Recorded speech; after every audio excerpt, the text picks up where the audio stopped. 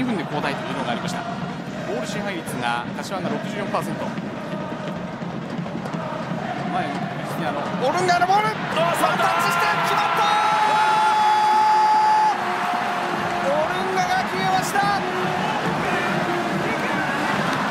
触りましたね最後。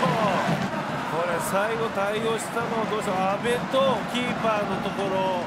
まあ、ビクトルとの関係だったんですけど、えー、あよくあのやっぱりリーチと差ですね、そうですね。あそこ触れちゃう。